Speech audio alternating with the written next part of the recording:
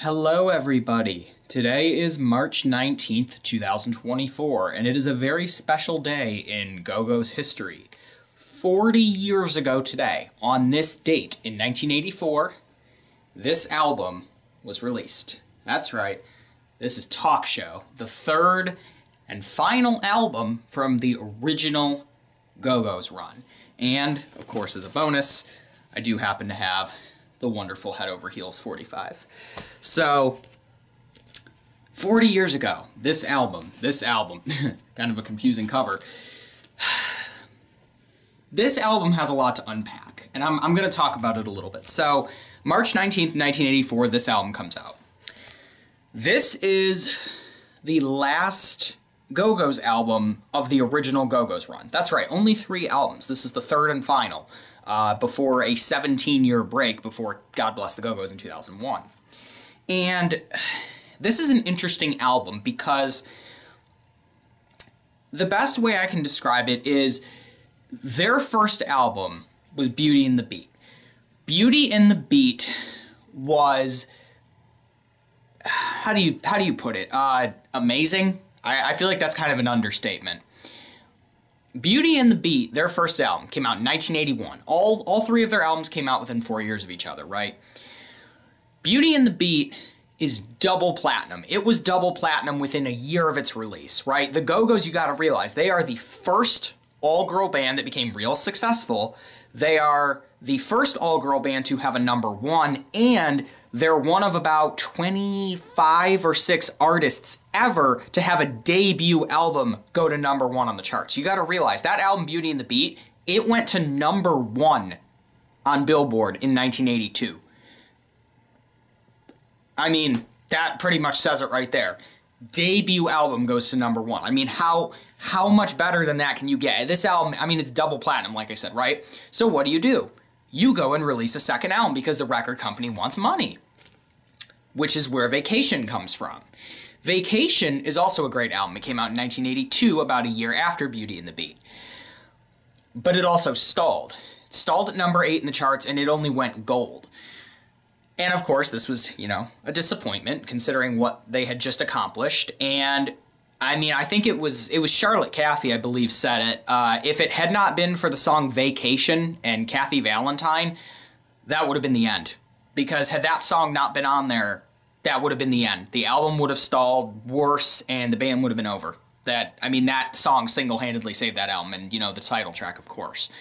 So, of course, 1983 comes around. You take a break, then in comes 1984, and we have this album. Now, this album, Jane Wiedlin actually talks about something interesting with this album, and that is that she really doesn't like this album, which is funny. You know, it's like, how could you not like it? You made it, but at the same time, I kind of get it because she'll she talks about even in the documentary like she doesn't even like to listen to this album because the timing in her life when this album came out was just awful. And if you want to know what I'm talking about, which I, I'm going to get to the negatives, but first let me talk about the positives, right? This album was different than the other two in a lot of ways because one of the big changes I think personally that is really something cool is that Charlotte Caffey she plays great guitar, great bass, whatever, she sings, whatever.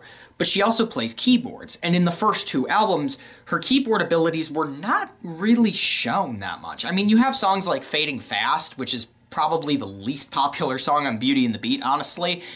Um, it features keyboards in the studio, but then live, there's no keyboards. So they show a little bit of her keyboard, you know, expertise, whatever.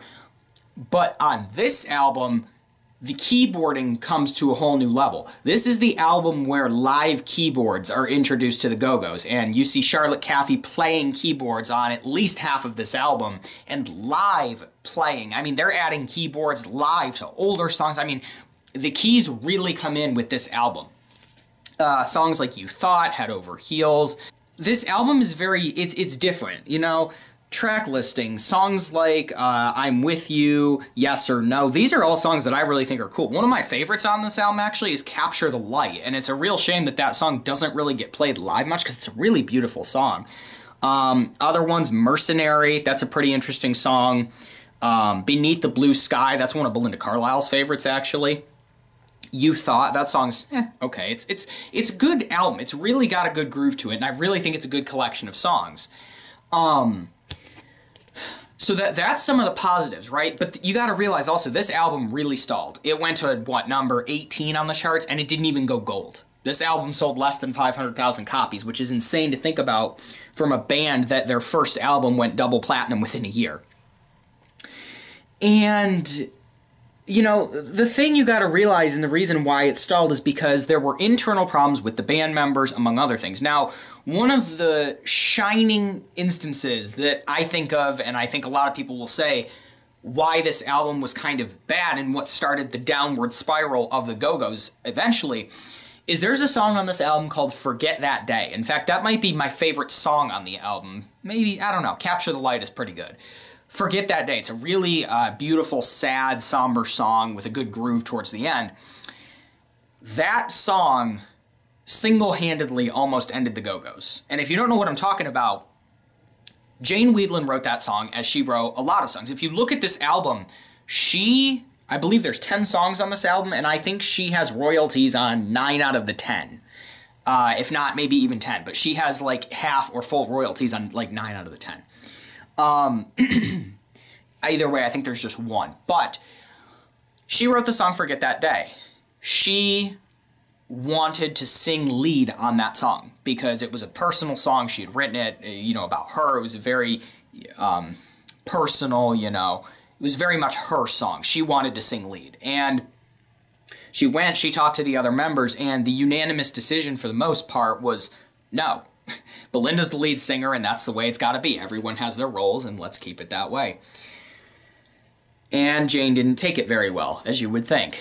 Uh, a lot of fighting was going on because of this, and the nail in the coffin, really, for the Go Go's, period, in their eventual fate after, I, I think the biggest, the, the last end was the Rock in Rio in 85, which we'll talk about. But this album is really what put the final nail in the coffin for the band because after Vacation came out, you got to realize they switched management, right? You had Ginger Canzoneri, who managed them from the beginning.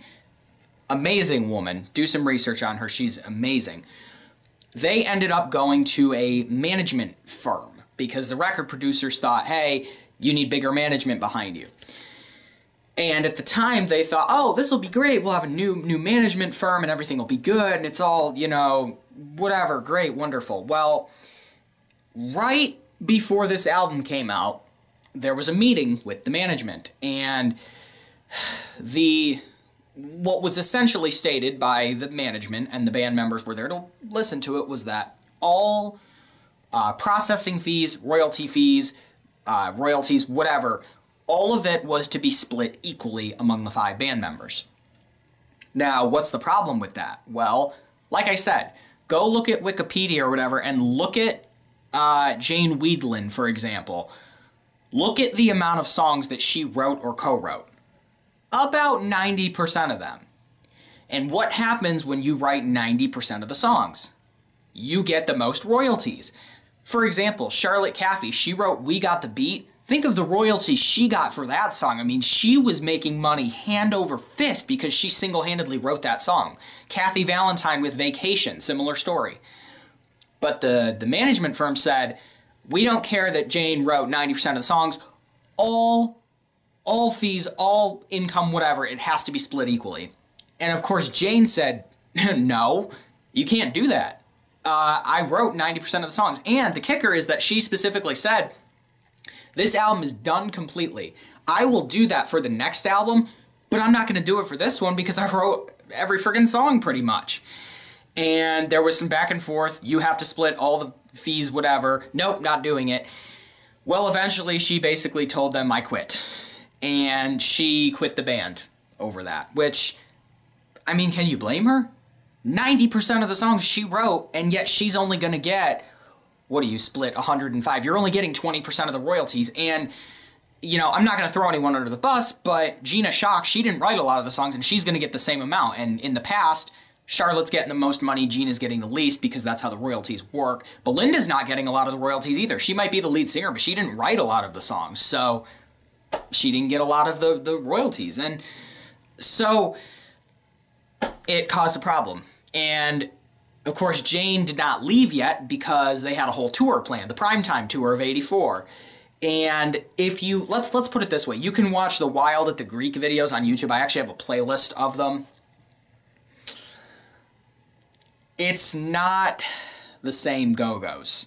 Watch Totally Go-Go's from 81 and then watch the Wild at the Greek videos. It's not the same.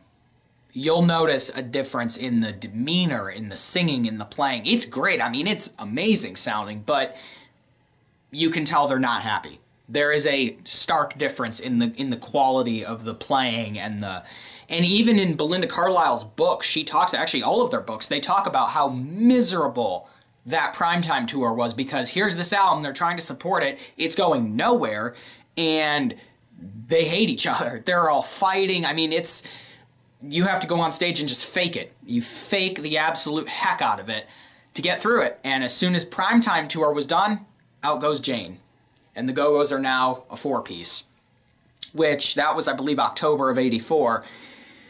Then you had, which is kind of related to this album, just going to talk about it a little, you had the uh, Rock in Rio concerts of January of 85, which some of the, they played two concerts at Rock in Rio in 85, which were the biggest concerts they had played up to that point.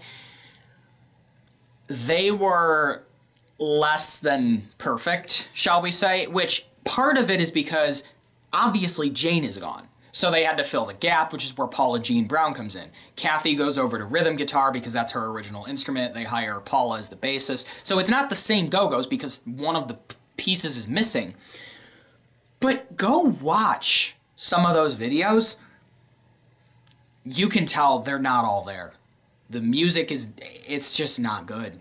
And it's unfortunate that that was the last big show the Go Go's played because it's not good. It's hard to even listen to knowing that five years earlier you had Beauty and the Beat, or four years even.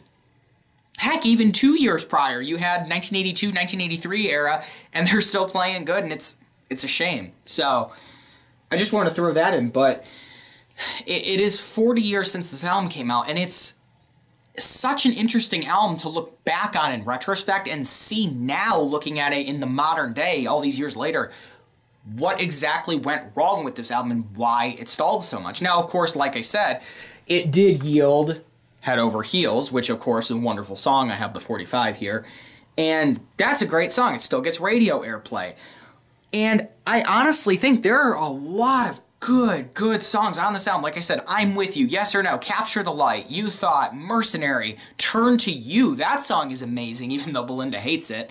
Um, Capture the Light. I mean, the collection of songs on this album is wonderful. I mean, it flows, and you can listen to this front to back, and it flows so nicely. But behind that, it is such a shame what happened and why this album stalled so much and really was the end of the original Go-Go's. It's hard to believe that, you know, 1981, they are on top of the world. Three years later, they they're strangers to each other. It's it's almost like a one-hit wonder, but it's not because they weren't a one-hit wonder. But it kind of feels like that. Like you have all this this fame and this power, and then all of a sudden, it's gone. So this has been my little retrospective kind of on the 40 year anniversary of Talk Show um, in the album here. What an interesting album, and how cool it is. We're celebrating the 40th birthday of it here, in this wonderful spring day. But it, it is, it's not like Beauty and the Beat where it's super exciting to celebrate because it's kind of a sad album in a way, and it has, it, it has some issues associated with it. But Nonetheless, it's still a very good album, and it's very, very crazy to think that 1984, 40 years ago, I mean, 1984 was a good year for music. You got to remember that. But in that, all that mix of the good music, you had this album, and it just, it didn't perform. It just wasn't all there. And I think part of it too is because you got to realize all of the internal turmoil going on with the band, it reflects in the music. So even though the songs are super good, all the behind the scenes stuff, it's just getting higher, higher, higher, and worse. So that, I think, is going to conclude it. I think I've said everything I want to say. Uh, the reason I do these videos, and I've done them for the last two albums, is because the Go-Go's are the band at the end of the day that got me into music.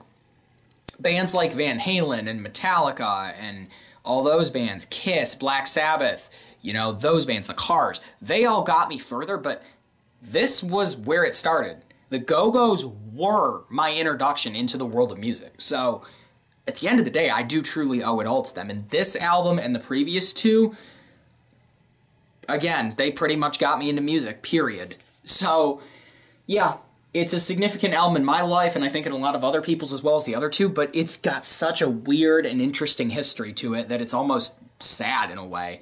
So, yeah, as sad as it can be to think about, it is 40 years ago that this album, Talk Show, was released. And uh, yeah, go and listen to it, go and enjoy it. It's a great album, but at the same time, think about all the, the problems and the, the issues that it faced. So that's it. Thank you for watching. Uh, go listen to this, and uh, yeah, happiest 40th birthday to the wonderful album Talk Show. That's it.